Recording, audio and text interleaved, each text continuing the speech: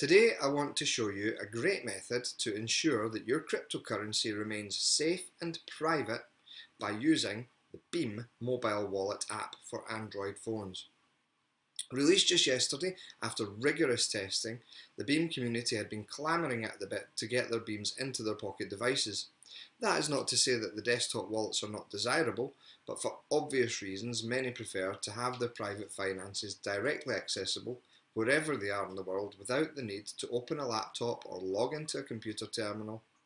So let's begin by navigating on our phone to the Google Play Store and searching for the Beam wallet. So once you have searched for and found the Beam wallet on the Google Play Store, you can simply go ahead and install it on your mobile device. You can see info on the wallet on the Play Store and also things like user reviews, which I would urge you to consider adding your own after installing the app. Alternatively, you can also install the wallet by clicking on the About This App information and clicking the beam.mw downloads link, which will take you back to the App Store. Great. So once you have downloaded your Beam Android wallet, you will then want to set it up and start using it. Upon first opening the app, you will see a screen which asks you to create a new wallet. So I'm going to go ahead and uh, click that. Create new wallet. Simply enough, you will then see a page which explains the creation of a new wallet and the steps that you will be required to go through to install the new wallet onto your device. The creation of a new wallet relies on a seed phrase which you will need to write down and save to keep your beams safe. Page here is a simple guide on what you should consider when your seed phrase is created. Okay. So as you might hope from a privacy cryptocurrency, the mobile wallet was designed to stop you from doing screen shares or screenshots of that sensitive data that I was currently keying in there.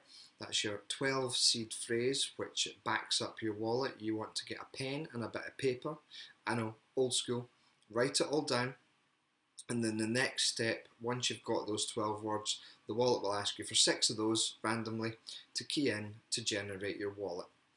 It'll also ask you for a password and that's another part that I couldn't record because the wallet wouldn't let me. So this is me keying in my password and setting up the wallet. You will then see the main screen of your Beam mobile wallet ready to receive beams. Touching on the receive button a new page appears to allow you to set your receiving address which can be expiring or never expiring. You will then want to copy the receiving key or address to paste into the platform from which you want to receive your beams, or alternatively, select your QR code, which can be scanned by another Beam wallet in order to send funds.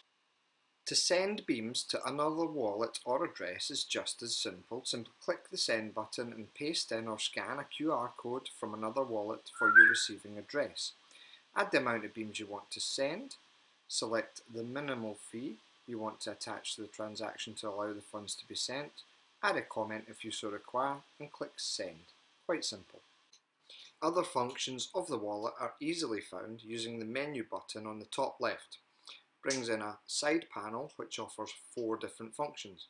Addresses shows your list of all previously generated addresses and selecting any of these allows you to edit the expiry of that particular address.